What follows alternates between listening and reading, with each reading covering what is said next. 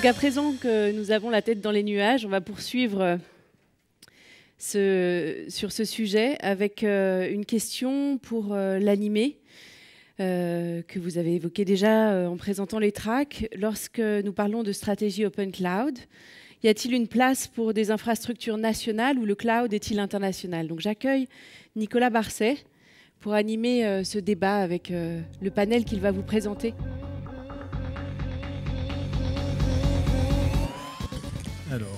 C'est fabuleux. Bonjour. Euh, eh bien, écoutez, c'est la première euh, partie de notre track Cloud euh, Strategies, Open Cloud Strategies. je vais demander à quatre intervenants de venir me rejoindre et prendre place juste ici, qui sont Jonathan Lelousse, qui est le responsable de l'innovation chez Alterway, Raphaël Ferreira, qui est le dirigeant, CEO d'Innovance, Patrick Stark, qui est le président de CloudWatt, et enfin, Alfonso Castro, directeur des euh, partenariats stratégiques, c'est Microsoft, pour m'aider à répondre à cette question. Est-ce que le cloud est quelque chose d'international ou bien est-ce qu'il euh, y a une place pour du cloud français?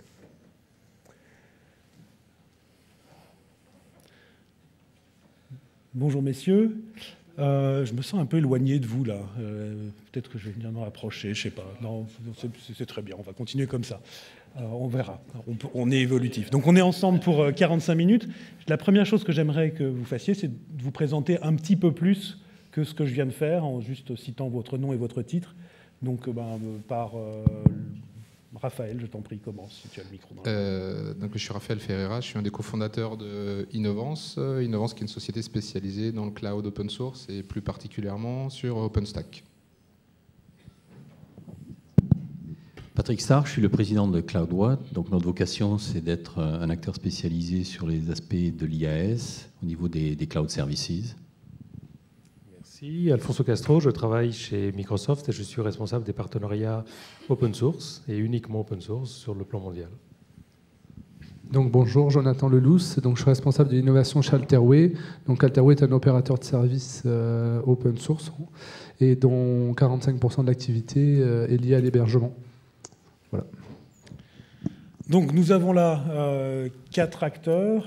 L'un d'entre eux à une offre de cloud, on va dire, internationale, Microsoft Azure. Euh, trois autres travaillent typiquement dans, du, dans de l'offre de cloud qui est peut-être internationale, mais qui est implantée euh, en France. Et la première question que je vais vous poser, en rebondissant sur la sublime vidéo que Philippe a présentée il y a un instant, euh, Qu'en est-il de la problématique des données dans le cloud? Est-ce que c'est réellement une problématique d'aller héberger ces données à l'étranger ou y a-t-il des raisons pour lesquelles on a parfois besoin de, garder ces données euh, plus proches de nous?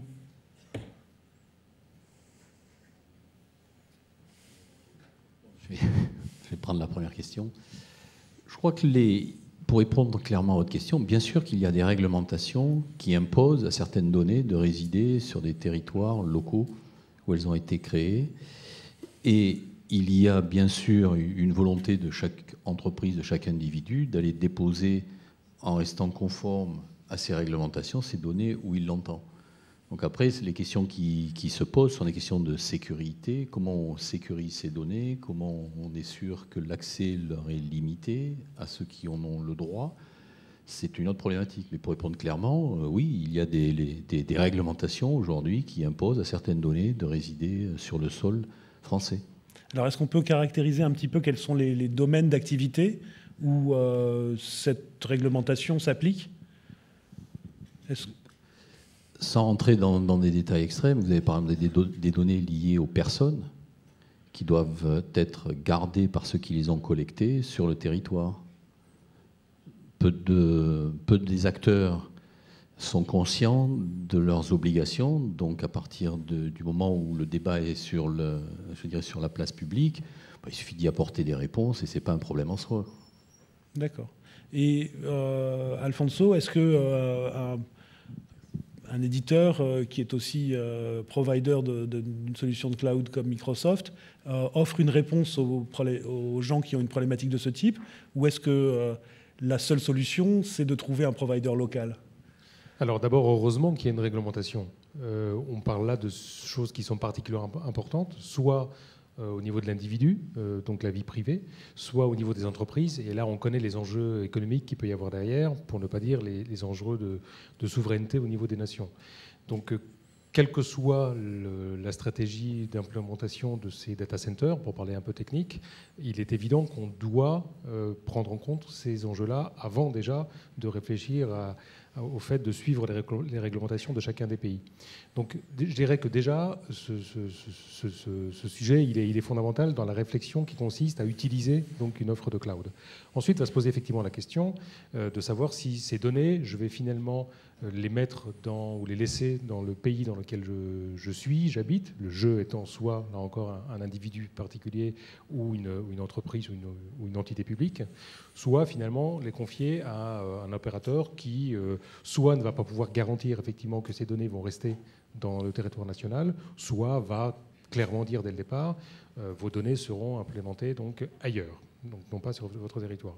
Euh, ce qu'il faut, c'est faire en sorte que lorsqu'on fait ce choix, on aille voir des, euh, opérateurs, pour, garder ce terme très générique, euh, qui puissent offrir un certain nombre de garanties. Alors garanties, si on retourne à la technologie, à la fois sur le côté sécurité, bien évidemment, c'est un peu le, premier point, mais ce n'est pas le seul, mais aussi sur le plan des processus. On pourrait dire que la sécurité, que les processus font partie de la sécurité, c'est un autre débat, et pourquoi pas.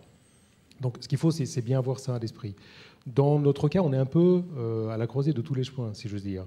Notre offre effectivement de cloud, je ne suis pas du tout là pour en faire la publicité, ce n'est pas l'objet, mais pour éclairer par rapport au débat, elle, euh, elle, est effectivement mondiale. Néanmoins, les data centers sont répartis à des endroits que nous précisons à nos clients. Nous leur disons, voilà, nous en avons euh, globalement six. Il y en a en gros deux en Amérique, deux en Asie et deux en Europe. Et vous pouvez, au moment où vous allez euh, mettre en place vos données et utiliser des applications qui vont tourner donc nommément sur Windows Azure, choisir les, endroits où vous allez pouvoir placer votre information. Alors évidemment, 6, pour ne pas dire 3 plutôt en fait, hein, si je raisonne au niveau des continents, ça ne va pas répondre à des problématiques qui visent effectivement à obliger les données, pour des raisons réglementaires ou pour des raisons stratégiques de choix, chacun est libre sur ce sujet bien sûr, eh bien ça ne va pas répondre à tous ces besoins-là. Donc là, on a une autre stratégie qui est totalement complémentaire, qui consiste, et là c'est la, ce sont les gènes de Microsoft qui parlent, c'est travailler avec des partenaires. C'est-à-dire que nous restons offreurs de technologies, nous ne sommes pas que offreurs de, services cloud.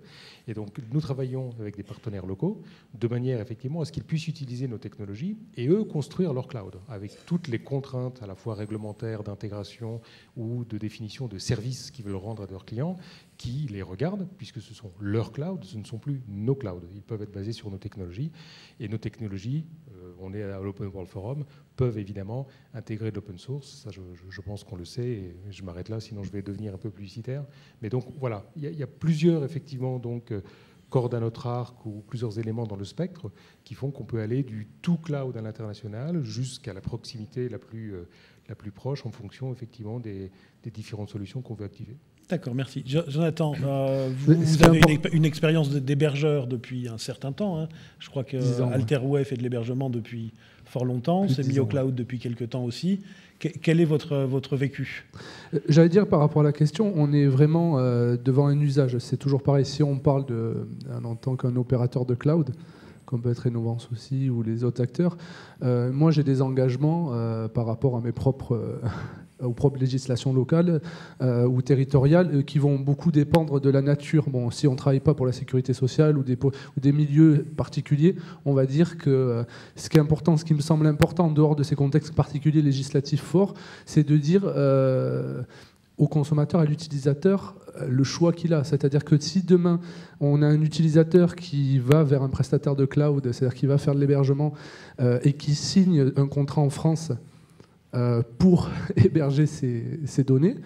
Euh, si à aucun moment on lui précise qu'en fait ces données vont être hébergées euh, dans une île ou beaucoup plus loin pour des coûts d'infrastructure, pour des avantages fiscaux ou autres qui sont intéressants, c'est là où je pense que la problématique de, la donnée aussi s'impose, c'est de savoir, dès le moment qu'on a, a, un cadre juridique ou qu'on signe un contrat en France, est-ce que c'est le, en termes de sécurité de données, la gestion, parce que ça va derrière, ça va impliquer toute la responsabilité de votre hébergeur. Est-ce que c'est est-ce que c'est un contrat français que j'ai signé? Et donc, est-ce que lui, il s'engage sur les principes du droit français pour protéger mes données? Ou alors, est-ce que je suis allé sur Microsoft Azure, il y avait marqué le petit drapeau comme quoi c'était un site américain. J'ai très bien compris, euh, ou tant pis pour moi si je n'ai pas compris, mais que mes, que mes données allaient être hébergées partout et que c'est euh, donc à moi après, en termes de sécurité, ou s'il y a des problèmes de sécurité, de, de prendre ma responsabilité. Parce qu'on est vraiment là, nous on héberge des entreprises, hein. on héberge des personnes, des ministères ou des choses comme ça, mais je veux dire c'est des personnes morales qui sont en face de nous, hein. ce ne sont pas des individus. Donc en fait, euh, ce sont des, quand même des utilisateurs avertis et ils doivent se poser des questions euh, avant d'héberger. Nous, en l'occurrence, nos data centers sont tous dans la région parisienne. On n'a pas la dimension de Microsoft pour la déployer. Euh, on a quatre data centers à Paris, donc chez nous, en tout cas, on a, le coût de la territorialité sera moins forte. Et Raphaël, pour conclure sur ce point, vous avez la même expérience qu'Alterway sur ce domaine ou c'est très différent? Bah, nous, en fait, on travaille déjà avec euh, des opérateurs de cloud aussi complémentaires à nos propres infrastructures, puisque ce qui nous intéresse, c'est d'aller placer la donnée euh, où, se où se situent les utilisateurs. Donc moi, ce qui m'intéresse aujourd'hui, c'est un opérateur de cloud qui serait global, qui aurait des infrastructures partout, mais sur lequel potentiellement je serais capable de m'assurer du placement de ma donnée, s'assurer qu'elle est bien là où je le souhaite, et aussi de bien valider que même si la donnée est un endroit physique, euh, elle est soumise à une législation qui est compatible avec la zone sur laquelle j'ai hébergé cette donnée. Et je pense qu'il y a une différence là-dessus. On peut très bien avoir des données qui sont hébergées dans un pays, et pour autant, la législation, la législation qui s'appliquerait sur cette donnée pourrait être d'un autre pays en fonction de la société avec qui on a contractualisé. Et souvent, euh, le seul choix qu'on a aujourd'hui quand on travaille avec des acteurs euh, globaux, hein, que ce soit Microsoft ou euh, Amazon, c'est uniquement de savoir le data center sur lequel on va poser cette donnée. Moi, je m'interroge toujours sur le fait, c'est très bien, ma donnée, elle est hébergée à Dublin, mais est-ce que c'est quelle législation s'applique dans ce cas-là? J'ai signé avec Amazon France, avec Amazon US, ou alors c'est la législation irlandaise qui s'applique Je pense que là, il y, a un effort à faire sur les partenaires avec qui on travaille aujourd'hui. on parle toujours de l'infrastructure et de où se situent les serveurs mais ce côté législation est complètement absent des choix. Il n'y a pas d'information là-dessus. Et moi, je travaille dans ce milieu-là depuis un moment, et pour autant, je ne me suis pas très à l'aise encore avec la réponse à cette question. C'est-à-dire que quand j'héberge une donnée sur Amazon à Dublin, quelle est la législation qui s'applique? Et il y a zéro information là-dessus. Oui, alors euh, justement, pour rebondir sur ce, point que tu soulèves, moi, il y a une chose que j'ai remarqué, c'est que quand je signe avec un fournisseur de cloud, en général, j'accepte implicitement ou explicitement un contrat qu'on dit click-through. Euh, euh, c'est juste un truc qui s'affiche à l'écran rapidement. Euh, si ça se trouve, je suis en train d'engager ma société, je m'en rends pas bien compte. quelles sont les choses que l'on pourrait améliorer dans, ce domaine Et est-ce que le fait d'avoir un provider plus national, plus local, permettrait de résoudre ce genre de problème? Alors, la seule personne que j'ose pas euh, appeler par son prénom, parce qu'on s'est à peine croisé jusqu'à présent, euh, c'est Monsieur Stark, mais je pense que vous avez peut-être une, réponse euh, sur ce domaine particulier. je crois que le, problème de la transparence contractuelle est un, vrai inhibiteur aujourd'hui, pour certains, à l'usage des, des, services cloud. Donc cette transparence, force est de constater que lorsqu'on vous demande de cliquer après avoir lu soit être censé avoir lu les 56 pages et vous devez cliquer. De toute façon, si vous ne cliquez pas, euh, c'est take it or leave it. Donc vous n'avez pas vraiment un choix. Et vous n'avez pas compris tous les termes qui sont à l'intérieur de ces 56 pages. Donc je pense, et c'est une partie du cahier des charges que nous nous sommes donnés, c'est de définir des services qui soient clairs d'un point de vue contractuel, c'est-à-dire la transparence contractuelle. Et ça ne doit pas faire 56 pages, ça doit faire quelques pages avec des points clés pour, revenir sur ce, que, sur ce que disait Raphaël. C'est vrai qu'aujourd'hui, peut-être parce que euh, les, services sont allés plus vite que la législation comme d'habitude, c'est bien, mais il faut peut-être faire simplement un arrêt sur image, définir quelles sont les réponses à des questions légitimes comme celles que Raphaël posait, et je pense que ça part d'un premier élément qui est la transparence entre cette relation contractuelle qui existe entre le fournisseur et son client donc il faut qu'on y travaille, qu'on y travaille collectivement. En tout cas, nous, on s'attache à mettre cet élément de, transparence au, cœur de la génétique de l'entreprise que nous créons, parce que nous pensons que ça va lever un inhibiteur sur certains de ces usages, et par là même, ça va continuer à ouvrir ce marché qui a commencé à s'ouvrir seulement. Vous êtes d'accord? Vous avez quelque chose à ajouter sur le... Bah, sur le contrat de transparence, j'allais dire... Euh, après, c'est vrai qu'on peut parler de systèmes complexes ou de très grands. Nous, le contrat de transparence, il est dans nos conditions de vente et dans notre euh, relation avec notre client. Hein. Je veux dire, quand nous, on le contrat de confiance, c'est le fait que nous, on lui, lui, euh, lui vend pas une infrastructure, on lui va vendre tout un service et que c'est ce service qu'on doit lui rendre dans des conditions qui sont des conditions de service optimales 24/7, euh, comme je pense que tout le monde fait aujourd'hui, euh, c'est ce qui est important. C'est ça notre engagement moral vis-à-vis bon, on a vis-à-vis de nos clients et je pense qu'on on est parce qu'on est une entreprise nationale sur son territoire. Donc ce qui veut dire que notre engagement il est direct. On, a un client, on doit assurer le, maximum de satisfaction de notre client, on doit aller au bout de la logique et on doit le fidéliser pour en avoir de nouveaux. Voilà, je veux dire cet engagement. chez nous, il pose pas de problème. Peut-être si on était une entreprise, ben là, dans ce cas-là, je te laisse, Alfonso. Euh, voir ensuite. Mais j'allais dire, pour un acteur français qui s'adresse à des entreprises ou des structures publiques françaises, notre engagement, c'est avant tout celle de notre entreprise et l'engagement euh, moral euh, et, de service qu'on s'engage à faire avec eux, indépendamment des aspects législatifs. Donc si je, si je, comprends bien, vous avez une relation privilégiée avec vos clients du fait que vous êtes locaux. Quelque chose qu'un Amazon qui est international a plus de mal à, à, mettre en œuvre, c'est ça? Ben, Il y a locaux et le, oui voilà locaux, euh, la, problématique pas de, pas de barrière de langue. Euh, du 24-7, la capacité à pouvoir euh, arriver très rapidement sur site et très rapidement des interventions. Beaucoup de choses qui vont faire que cette proximité physique des data centers et, des personnels qui peuvent intervenir donne beaucoup plus de valeur ajoutée à une intervention que si les serveurs étaient à 12 000 km de la France. Moi, j'ajouterais juste quand même qu'au niveau des, engagements de qualité de service, il y a quand même du progrès parce qu'on a, à mon sens, transposé les événements, les, les SLA classiques qu'on avait dans l'hébergement depuis euh, des années sur des contrats globaux euh, comme Amazon, où en fait, euh, les simples engagements qu'on va avoir, c'est des engagements de disponibilité. Alors que on voit bien que les problématiques que ça soulève nécessiteraient des engagements différents, des engagements sur exactement le placement de la donnée, des engagements sur la garantie que les données sont effacées, des engagements aussi sur le fait que euh, quand j'utilise un système de stockage type S3 ou autre, on sait très bien que même si j'ai choisi ma zone, ma zone, il y a des systèmes de réplication qui vont faire que ma donnée elle va transiter sur d'autres sites pour la sécuriser d'un point de vue de sa disponibilité, mais potentiellement il me semble que chez, euh, Azure aussi, à un moment, cette question euh, est venue, c'est-à-dire que je vais placer une donnée sur un site géographique particulier, mais il y a un système de réplication interne à Microsoft qui fait qu'à un moment, potentiellement, cette donnée, elle sort et qu'il y a une partie de la donnée qui se retrouve à l'extérieur. Et, du coup, oui, là, on peut progresser. Je pense c'est quand même d'avoir des engagements de SLA qui sont plus adaptés à ce nouveau contexte qu'on n'avait pas l'habitude d'utiliser euh, avant et que les contrats aussi tiennent compte des demandes des utilisateurs par rapport à ça. Et est-ce que Microsoft, par exemple, propose un, euh, des CLUF, des conditions d'utilisation pour l'utilisateur final, euh, en français pour un utilisateur français Ou est-ce que c'est comme Amazon, tout le monde doit parler anglais et accepter le droit anglais?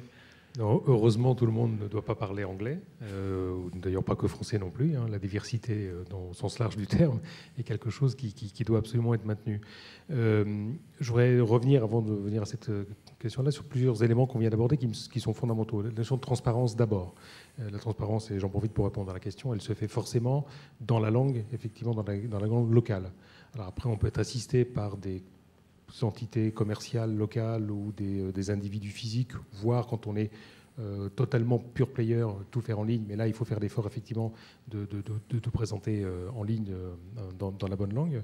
en France, il y a 1700 personnes chez Microsoft. notre boulot, c'est justement d'aller voir nos clients localement et de leur expliquer, les assister si nécessaire. Euh, la notion donc effectivement de sécurité, tu, as lancé ça, tu as, tu as avancé ça, ça c'est fondamental, on en a parlé précédemment également. Je vais revenir de l'autre côté de la barrière maintenant. Euh, on dit qu'effectivement il y a une grande tentation lorsqu'on est devant les clauses juridiques là à cliquer parce qu'on veut accéder au service et on a besoin de le faire.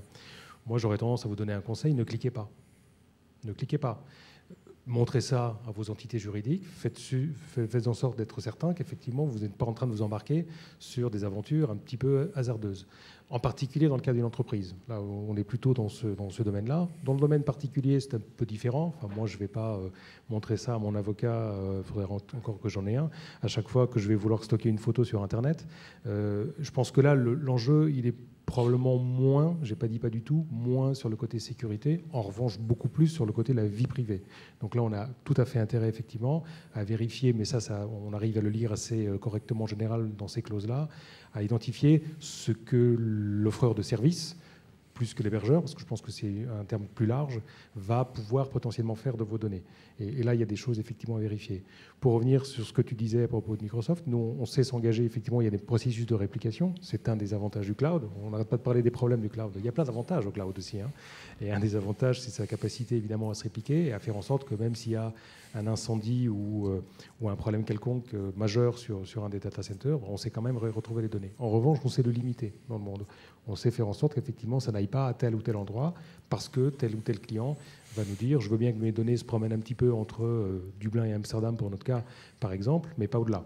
Parce qu'au-delà, ça peut me poser problème juridique ou de sécurité ou de confiance ou que sais-je. Donc c'est effectivement complexe, hein. il faut prendre tout ça donc en, en, ligne de compte. La transparence est absolument fondamentale, mais euh, n'allez pas cliquer sur des choses que vous ne connaissez pas. Je pense que ça, c'est un peu aussi le, le Juste par curiosité, quand je signe euh, avec Microsoft euh, France et que j'héberge mes données à Amsterdam, quelle législation s'applique pour cette donnée C'est une bonne question. Ça m'intéressera moi aussi. Si, j'étais juriste, je saurais y répondre, mais je ne sais pas non plus. Ah et je ne vais pas m'aventurer sur ce terrain-là. Je viens de dire qu'il ne fallait pas cliquer, là je ne vais pas cliquer. D'accord. Est-ce qu'il, euh, pour la transparence Encore, ça c'est le cas simple, parce que c'est le cas où on est quand même en Europe, dans l'Union européenne, entre voilà, ça, ça va encore à peu près. C'est un petit peu plus compliqué quand on commence déjà à traverser l'Atlantique. Je ne sais pas si vous avez envie de parler du Patriot Act, mais on peut le faire. Et c'est encore plus compliqué quand on va dans bah, d'autres. Euh, j'allais y venir avec l'intérêt stratégique, parce qu'il y, y, a de l'aspect réglementaire qui va contraindre parfois euh, nos, nos, hébergements à être locaux, au moins européens, parfois vraiment locaux nationaux. Euh, mais parfois, il y a un intérêt stratégique à ne pas avoir ces données quelque part. Et euh, effectivement, le, Patriot Act, qui euh, donne la possibilité au gouvernement américain de récupérer les données de n'importe qui, n'importe quand, sur simple requête, sans même passer devant un juge, sous prétexte qu'il y aurait peut-être des informations sensibles à du terrorisme, peut poser problème, un problème moral à certains. il peut y avoir d'autres choses comme ça. vous, avez déjà vu des clients qui étaient euh, inquiets pour ce genre de choses? Euh, Le Patriot Act, euh, j'en parlais hier avec la NSSI. je pense qu'on en fait beaucoup de choses parce que c'est bien. Euh, je vous rassure, nous ne sommes pas en guerre euh, avec les États-Unis. Euh, il y a d'autres pays qui ont beaucoup plus à craindre du Patriot Act, qui sont actuellement en guerre ou pas loin avec les États-Unis. Donc j'allais dire, au-delà du Patriot Act, c'est une histoire de sécurité industrielle globale. et le Patriot Act, même si dans les faits, on a l'impression que c'est un truc, d'un coup, il y a un gars qui décide de le faire, on lui signe un papier dans un bureau sombre et il a le droit de faire tout ce qu'il veut, c'est quand même beaucoup plus complexe et en termes juridiques pour être euh, sollicité, ça nécessite quand même des démarches administratives. C'est pas quelque chose qu'on peut claquer du jour au lendemain. Et justement hier, c'était la conversation que j'avais avec la NSSI sur ça. La vraie difficulté dans le cloud tient plus au transfert des données. Et quand on parlait de réplication, de notion de réplication et d'endroit, c'est plus pas au moment où la donnée sera aux États-Unis hébergée là-bas. C'est tout ce qu'elle va faire avant d'y arriver, et peut-être le nombre d'endroits où elle va être répliquée en attendant. Donc tout, et tout ce transfert-là qui va passer sur des zones, euh, à des endroits euh, plus, ou moins, euh, plus ou moins validés, avec des régimes juridiques plus ou moins forts, c'est là où ça va avoir, il va y avoir de vrais problèmes. Et vous allez voir qu'au-delà du Patriot Act, ce qu'il va y avoir, bon, on peut dire par exemple une île, il y a des îles qui peuvent décider dès demain d'avoir une stratégie ouverte, commerciale et euh, législative forte pour inciter d'avoir des très grands data centers avec des, grosses infrastructures cloud, avec un régime juridique très favorable aux entreprises, justement pour permettre à, des entreprises qui le souhaiteraient de venir héberger les données chez eux avec un très peu de risques. Donc j'allais dire, le Patriot Act est peut-être moins important. Bon, nous, on a toujours chez nous, euh, dès qu'on les Américains, on les aime, c'est comme les Anglais, on les aime bien, mais dès qu'on peut leur taper dessus, euh, ça va bien. Là, je pense que c'est plus la sécurité, de la notion de, transfert des données et de savoir qu'il y a des pays qui sont plus en guerre économique par rapport à nous et qui auront peut-être beaucoup plus d'intérêt à récupérer ces données-là euh, que les États-Unis. Je suis d'accord avec toi. ce qu'on appelle la gravité des données, hein, le, poids des, des, données, le fait qu'une fois qu'on les a mis à un endroit, c'est difficile de les bouger, a un impact. Mais quelque part, je me dis que si j'étais, euh, on va dire, Airbus, euh, aller héberger mes données euh, sur le territoire de euh, mon plus gros concurrent Boeing, c'est m'exposer à une forme d'espionnage industriel que je ne pourrais pas contrôler. Est-ce que là, il n'y a pas un choix stratégique à faire à un moment donné? Je crois que c'est le, choix de, de, chaque entreprise. On sait que le Patriot Act existe. S'il a été créé, c'est à des fins bien précises, dont acte. À partir de là, chaque entreprise responsable doit estimer quelles sont les données qui ont un niveau de criticité tel que je ne veux pas m'exposer potentiellement à je dirais, les conséquences du, Patriot Act. Et donc, pour prendre les exemples que vous citiez, si vous êtes dans certaines industries de la défense, etc., bien sûr que vous n'irez pas le faire. Même si ça n'est qu'une potentialité avec une lourdeur administrative, vous y mettez tout ce que vous voulez, mais toute lourdeur administrative en fonction de la criticité des données auxquelles vous voulez accéder, ça s'accélère un processus comme ça. Donc à partir de là, moi ce que je pense, c'est que chaque entreprise doit évaluer la criticité de certaines de ces données et à partir de là prendre des décisions. Si c'est des données stratégiques pour lesquelles vous voulez être sûr que vous limitez les, les aspects d'espionnage industriel, forcément, vous allez aller les mettre à un endroit que vous estimez être un peu plus sûr que celui qui vous est offert.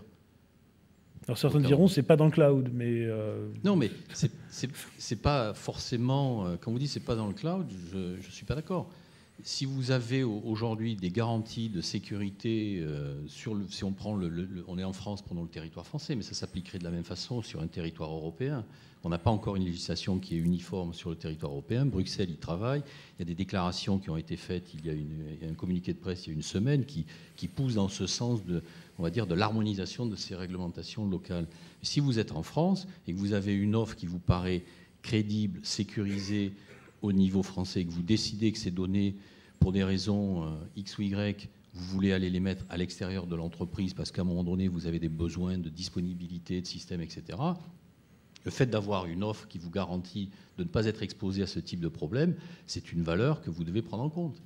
Et c'est le choix de chaque entreprise.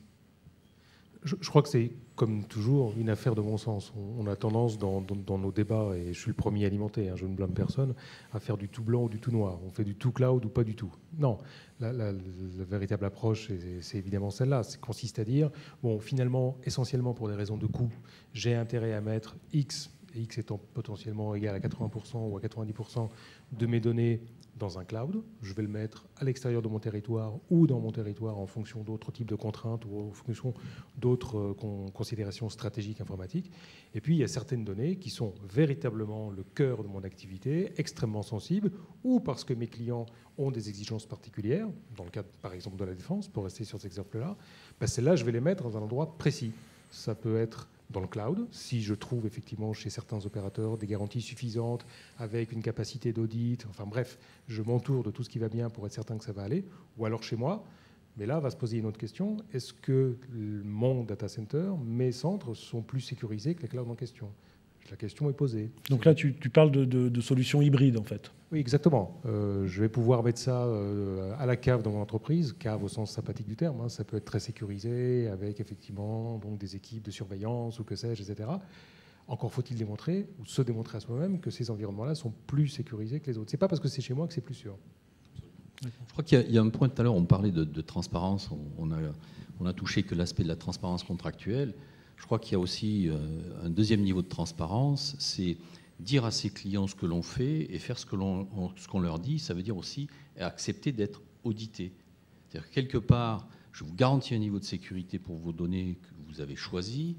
Je vous dis comment j'exécute cette mise en sécurité. Et si vous décidez d'auditer mes procédures, mes portes doivent être ouvertes pour que vous puissiez auditer mes procédures. C'est comme ça que ça se passe dans le monde industriel. Lorsque vous donnez une partie de votre production à un sous-traitant, vous pouvez auditer ses procédures qualité et vous pouvez aller in situ, regarder comment il les met en œuvre et vous pouvez interviewer certains opérateurs pour regarder si ce qu'on vous a décrit, c'est effectivement sa façon d'opérer. Ça, c'est un niveau de transparence aussi que l'on doit mettre au sein des clouds et du cloud public en particulier, de donner cette possibilité à certains clients. Il est évident qu'on ne va pas ouvrir les portes à, justement, le, choix, open source que vous avez fait est-il en lien avec cette auditabilité? Bien sûr qu'il est en lien. On fait un choix open source et OpenStack en particulier pour la partie qu'on va appeler l'operating system du, du cloud, c'est parce que c'est un choix souverain. Je m'explique souverain. Souverain en tant qu'entreprise. Si je veux avoir la maîtrise de ma destinée, si je bâtis une architecture avec des clés de voûte, il faut que je maîtrise ces clés de voûte parce que je sais que mon architecture va évoluer dans le temps. Si je donne cette architecture et ces clés de voûte à un tiers, je suis totalement dépendant du roadmap de ce tiers. Donc de deux choses l'une, où ce roadmap me convient et je suis, mais le jour où je veux aller dans une direction qui ne correspond pas au roadmap que l'on m'expose, je n'ai plus qu'un chèque à faire. Ça s'appelle une migration. Donc le choix pour nous de faire un choix open source, il a un caractère souverain dans la décision de l'entreprise de prendre en main sa destinée d'un point de vue de ses choix technologiques. Donc à partir de là, ça veut dire que bien sûr nous faisons partie de cette communauté et nous devons jouer le jeu de cette communauté, c'est-à-dire je prends et je donne. Et ça n'est pas sur le fait de, de, partir en open source. On peut très bien expliquer à nos clients ce que nous faisons, comment nous le faisons, quel type de procédure nous avons en place pour les, pour les aspects de sécurité notamment. Si on veut montrer une sécurité end-to-end, ben, il y a des, éléments que l'on devra développer sur certains aspects qui sont en propre parce qu'ils ne sont pas encore disponibles dans l'open source. Mon point de transparence, c'est de dire on doit être capable de dire ce que l'on fait, de le montrer et d'accepter d'être audité. Et je pense que c'est un facteur de différenciation parce que pas beaucoup d'acteurs, pour ne pas dire très peu, pour ne pas dire aucun, n'offrent ce type de, de possibilités. Quand vous êtes dans une logique de take it or leave it, c'est bien quand on est dans le consumer. Quand on est dans le professionnel, je pense qu'on n'est pas sur ce type de problématique. On doit être dans un rapport plus équilibré d'un point de vue contractuel et d'un point de vue de la transparence. Et ça, c'est notre approche. C'est ce que nous mettons dans la génétique de l'entreprise que nous créons, parce que nous sommes convaincus qu'il y a un facteur de différenciation et un facteur de valorisation. Ça me paraît très clair. Très bien par rapport à ça, ce qui est important, je pense encore une fois, euh, déjà c'est une notion de service. De, là j'ai l'impression déjà on parle beaucoup de cloud public dans tout ce qu'on dit, ou alors de cloud privé externalisé on peut très bien décider pour une grande partie de ces données d'avoir un cloud privé internalisé dans lequel on va déployer une infrastructure open source. Donc on peut faire le choix des, choix technologiques dits. Euh, donc ça, ça déjà, c'est une solution. Oui, ça existe. On peut faire du cloud dans sa cave, oui. du cloud dans sa cave, c'est pas le serveur dans la cave et le cloud dehors. Ça peut être le cloud dans sa propre infrastructure. Et on parlait de l'exemple d'Airbus. J'espère qu'ils ont un cloud chez eux. Et j'espère qu'en plus, ils ont eu la bonne idée ou ils auront la bonne idée de le faire en open source. Euh, maintenant, euh, ça c'est important. Maintenant, après, il y a toujours la notion de service. Euh, la notion de service, c'est quel, service on va rendre dans le cadre d'un cloud privé externalisé ou d'un cloud public. Euh, quel service on va rendre euh, à notre client, quelle garantie on va lui donner? Et je ne suis pas sûr qu'en fait, ça soit le... Il faut avoir un certain agnosticisme technologique. si vous voulez, l'open source, pas, c'est pas, c'est pas la cour des miracles. un projet open source, ça peut très bien tomber. un projet open source, a une vie, un cycle de vie. Euh, et ça peut euh, réussir un moment, fermer à d'autres. Je pense que la stratégie, quand on parle de cloud et d'open source aujourd'hui, c'est d'être capable d'être polyactif en matière technologique, parce qu'il existe des différents clouds open source. On parle d'OpenStack qui est vraiment un des fleurons euh, technologiques aujourd'hui. mais il y a aussi CloudStack qui, est open source, il y a aussi Ovirt. Vous avez aussi beaucoup d'autres solutions. Et peut-être qu'OpenStack, dans votre cas et dans votre situation particulière, n'est pas le cloud le plus adapté. Euh, vous verrez après, nous, sur la table ronde, typiquement, euh, chez nous, on a déployé une offre de cloud. On a testé OpenStack. Aujourd'hui, on a euh, notre marché support logiciel libre interministériel tourne sur OpenStack. voilà. Par contre, sur notre technologie en interne, pour notre offre de cloud, on a choisi OVIRT. Pourquoi? Parce que ça correspondait plus au service qu'on rendrait au SLA, au 24-7, à, nos problèmes de réplication qu'on avait en interne et, et au service qu'on veut rendre à nos clients. Donc on avait vraiment une différente stratégie en fonction des besoins de nos clients, de ce qu'on veut. Parce qu'OpenStack, ce qui est très intéressant, et c'est là où je trouve très pertinent le choix, c'est qu'on a une vraie lisibilité, on peut, c'est très modulaire, mais il y a encore beaucoup de choses à faire.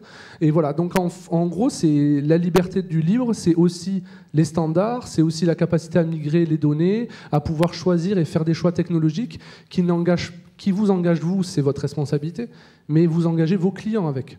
Et c'est important, de, comme on peut le faire aujourd'hui sur du propriétaire aussi, euh, l'open source c'est une alternative au propriétaire, mais ça peut être un complément. Euh, on voyait par rapport à des plateformes, nous aujourd'hui on ne fait pas d'Amazon euh, pour des raisons euh, stratégique aussi interne euh, par rapport au, logiciel libre. Donc voilà, tout ça, c'est, je pense que c'est avant tout des choix et que dans le choix technologique, il y a notre responsabilité en tant qu'entrepreneur et surtout le service qu'on donne à nos clients. Et je pense que dans le cadre du service qu'on donne à son client, c'est bien d'offrir une diversité de solutions et d'opportunités parce qu'on est quand même sur des technos qui sont en très forte immaturité hein, encore dans nos secteurs. Euh, c'est pas pour autant, je suis désolé qu'on fera du Azure hein, ni du VMware, on le fera pas. Mais en tout cas, on va minimiser nos, impacts technologiques sur euh, une technologie donnée par rapport à cette notion de service. C'est intéressant ce que tu viens de dire parce que tu dis je fais de l'OpenStack dans certains cas, mais euh, en même temps, quand tu dis OpenStack, euh, tu, pourrais très bien appuyer de l'OpenStack sur un VMware ou sur de l'Hyper-V maintenant. Est-ce que c'est d'ailleurs pour répondre à ces problématiques de, d'ouverture, de, lisibilité, d'auditabilité que Microsoft s'est euh, de plus en plus penché vers l'open source? Non, c'est plus large que ça. Euh, la notion d'auditabilité, elle existe dans, Windows Azure et euh, de manière extrêmement développée également. Je, ne peux évidemment que souscrire à mes deux prédécesseurs. Euh, on ne peut pas faire de business sérieusement si on n'est pas transparent. Ça, c'est fini. Ça. On a pu faire ça il y a quelques années, peut-être les uns ou les autres. C'est totalement terminé. Euh, il s'agit d'être absolument sérieux par rapport aux, clients euh, que, nous traitons les uns et les autres. Euh, la démarche d'open source de Microsoft par rapport à, par rapport donc à ces aspects-là, mais en fait, ça dépasse le cloud. Hein, donc, je ne vais pas vous faire l'article. Enfin, si, je veux bien, mais ça, on va être un peu hors sujet. Il nous reste plus que 9 minutes. C'est simplement la prise en compte de la réalité. La réalité, c'est qu'il y a l'open source dans les entreprises, dans les administrations. Il y a le fait qu'effectivement, donc, on a, euh, nous, cherché à développer des relations avec, au départ, des communautés, ensuite des, euh, sociétés open source, et offrir à nos clients bah, ce qu'ils ont chez eux, et faire en sorte de l'intégrer au, mieux. Donc, euh, eh ben, restons sur le cloud, effectivement. Euh, il existe, enfin, c'est pas un scoop, hein, il existe un marché, effectivement, donc open source, Linux en l'occurrence, si on parle des OS, sur, euh, sur, le marché cloud. On a souhaité développer, effectivement, cette offre-là également dans Windows Azure pour ne pas, pour, ne pas proposer que Windows Server comme, comme plateforme, euh, plateforme de choix. C'est une démarche stratégique euh, commerciale euh, traditionnelle. On analyse le marché, on regarde les risques éventuels. On a fait ça il y a quelques années.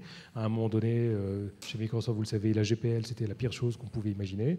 En 2009, on s'est dit, bah, finalement, non seulement on pourrait fournir du code au noyau Linux, mais en plus, on pourrait le faire en GPL v2. Bah, faisons-le. On l'a fait. Et depuis, des, applications GPL, on en a fait plein d'autres. Enfin, voilà. Donc, il y a eu un revirement de, stratégie. Il y a eu le fait effectivement euh, bah, d'accepter l'open source, parce que c'est vrai qu'à une époque on le refusait, mais ça, dépasse les stratégies cloud et ça dépasse les notions, pour revenir à ta question, les notions d'audit qui sont de toute façon prises en compte par ailleurs.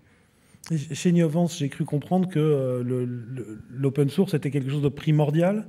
C'est quoi les, les, raisons pour lesquelles vous vous appuyez complètement sur des briques open source chez bah, Bon, il y a déjà des raisons euh, philosophiques euh, qui sont liées à la culture de l'entreprise et à notre volonté de partager la connaissance. Quand on dit partage de connaissances, ça ne s'applique pas qu'au code. Quoi. Aussi, euh, on suit aussi ce qui se fait dans l'open hardware. Et puis, euh, c'est plutôt la manière dont on gère la société et la manière dont on voit le monde qui fait que, naturellement, on s'oriente plus euh, vers l'open source. Donc ça, c'est des aspects plus philosophiques des fondateurs, on va dire. Mais il n'y a pas on, est, très distribué, nous, euh, comme, euh, comme euh, fournisseurs, c'est-à-dire qu'on travaille aussi avec Amazon, on travaille avec euh, CloudWatt, on travaille avec euh, Rackspace, on fait de l'OpenStack, et puis pour d'autres clients, on fait de l'OpenVZ, on utilise d'autres technologies. Donc, le propos chez nous, c'est qu'on est spécialiste de l'open source parce que déjà, on était trop petit pour tout faire. Donc déjà, on a pris un sujet qui était le plus proche de nos valeurs et puis on a essayé de le faire bien. Donc déjà, on s'est spécialisé là-dedans. Bon, ça marche, donc on reste là-dedans. Euh, mais par contre, dans l'open source, il y a une multitude de solutions, comme l'a dit euh, Jonathan. Et pour nos clients, on a des clients euh, pour qui OpenStack n'est pas du tout la bonne solution. Je avoir des clients qui ont une application legacy qui n'utiliserait pas d'API, qui n'a pas besoin de scalabilité, qui va être utilisée par 200 personnes à un endroit bien donné bon, bah, OpenStack n'a pas vraiment de valeur ajoutée. Donc euh, il y a une diversité aussi chez nous dans l'open source, euh, même si, euh, comme je le répète, le, fondement de la philosophie open source est, important pour nous. D'accord. Alors, une autre question qui, m'est venue, en fait, quand j'ai entendu parler pour la première fois du projet CloudWatt, je me suis dit, mais pourquoi ils ont appelé un projet CloudWatt Mais ce n'est pas ça la question. Euh, la question, c'est, euh, il y a le mot Watt dans, dans, votre nom. Euh, est-ce que c'est lié à l'énergie? J'ai, entendu dire que d'ici peu de temps, l'énergie sera le coût principal d'un opérateur de cloud. Euh, est-ce que c'est euh, parce qu'on a quelque chose de particulier au niveau euh, national français, peut-être grâce à nos centrales nucléaires, je ne sais pas, que la société s'appelle ainsi ou c'est pour d'autres raisons? Non, vous savez, c'est toujours un moment, important quand on essaie de définir le nom d'une entreprise. Donc on, y a travaillé cet été intensément. Et on est arrivé sur ce nom pour de multiples raisons. Et une des raisons, c'était un peu comme un clin d'œil de dire aujourd'hui, finalement, qu'est-ce qui, se passe sur l'industrie de, de, l'IT en général? Et force est de constater qu'on vit une révolution. Alors beaucoup le disent mais ne le pensent pas. Beaucoup utilisent le mot cloud en, on va dire, en marketing buzz. Mais derrière, il y a une véritable révolution qui est sous-tendue par trois éléments fondamentaux. Un premier élément, c'est une évolution technologique. Il y a eu le mainframe, il y a eu la mini, il y a eu la micro, il y a eu la vague Internet, la vague de la mobilité. Et aujourd'hui, les technologies nous amènent vers des technologies de type cloud. Mais c'est une révolution parce que c'est sous-tendu par deux autres éléments fondamentaux. Un deuxième élément, c'est le basculement de pouvoir de l'informaticien vers l'utilisateur. Je vous rappelle, pour ceux qui, qui sont trop jeunes pour s'en souvenir, dans les années 70, début des années 80, vous faisiez la queue chez l'informaticien en demandant s'il aurait de l'amabilité de développer telle ou telle chose. Il vous disait oui, dans 9 mois, oui, dans 12 mois. Et grosso modo, il avait le savoir, il faisait un outil, il vous transférait cet outil, vous utilisez cet outil pour automatiser du processus ou des tâches. Et l'arrivée de la micro a commencé à marquer le clivage de ce transfert, ce basculement de pouvoir, puisque l'utilisateur, finalement, pour résoudre son problème, il avait trouvé une solution. Et je ne prendrai que que, la, notion du bring your own device, qui est le, dernier niveau d'autonomie de, l'utilisateur, qui vient et qui a commencé par imposer à l'entreprise je veux un accès à Internet, je veux un accès aux réseaux sociaux, et by the way, je veux que mon, smartphone il soit connecté. Et ce qu'on s'aperçoit, c'est que cette deuxième révolution, ce basculement de pouvoir, c'est accompagné d'un troisième élément structurant, et là, il est d'ordre sociologique, social. La sphère personnelle et la sphère professionnelle dans les années 70-80, étaient encore séparés parfaitement. Vous quittiez l'entreprise, votre travail s'arrêtait, vous rentrez chez vous, vous n'étiez plus connecté.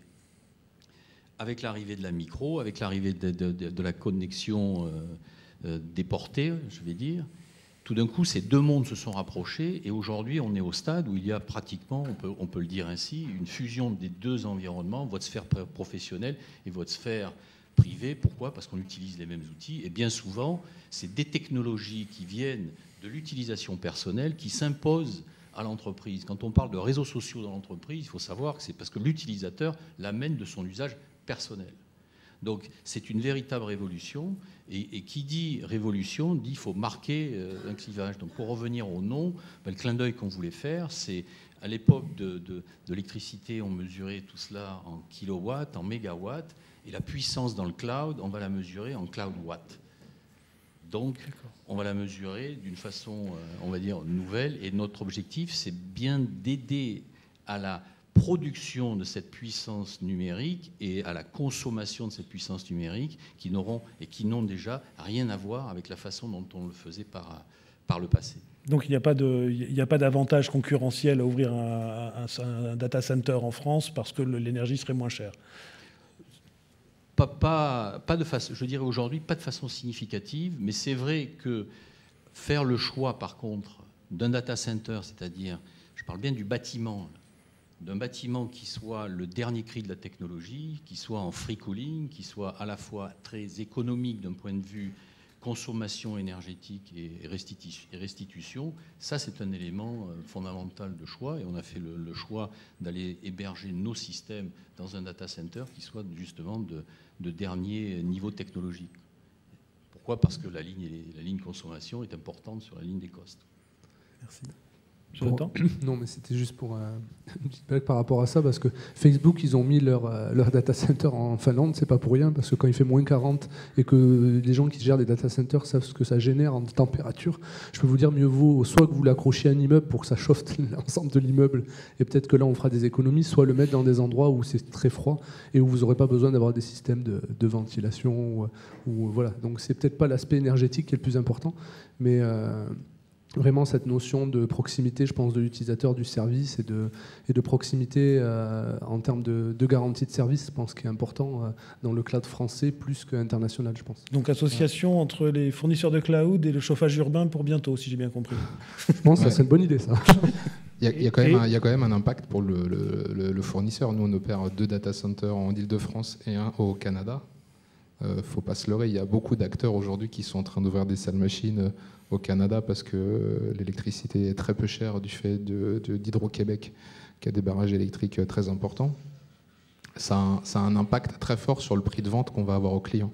Juste pour répondre par rapport à, à, CloudWatt et, et, euh, et, au nom de nous, euh, on ne fait pas de la boule de cristal, mais par exemple, on pense effectivement que le cloud privé, le cloud hybride, c'est une transition, qu'aujourd'hui on est en transition et qu'à terme, ce qu'on pense, nous, c'est qu'effectivement, on consommera de la puissance de calcul comme aujourd'hui on consomme de l'électricité. Donc oui, il y a bien un lien. Cette image, elle est souvent reprise dans les différentes présentations. Aujourd'hui, on est en train d'avoir cette transition parce que les applications doivent évoluer, les habitudes de consommation également, de j'ai plus mes données chez moi, mais j'ai mes données ailleurs. Donc psychologiquement, tout ça, il faut que ça fasse son chemin. Mais effectivement, chez Innovance, en tout cas, on est persuadé que c'est une transition et qu'à la fin, euh, il n'y aura plus cette distinction privé, hybride, public, mais que ce ne sera plus, ce sera plus d'ordre du jour. Ça. Bon, ben, je vous remercie beaucoup, messieurs. On a maintenant dépassé de 17 secondes notre temps imparti. Euh, je pense que ça a été, en tout cas pour moi, très intéressant de discuter avec vous. J'espère que ça a été la même chose pour la salle. Et j'invite tout le monde à venir nous rejoindre à partir de maintenant oui, euh, en salle euh, Namur, qui est au deuxième étage, pour la suite du, tra du track Open Cloud Strategies. Merci beaucoup. Merci à Merci. vous. Merci, monsieur.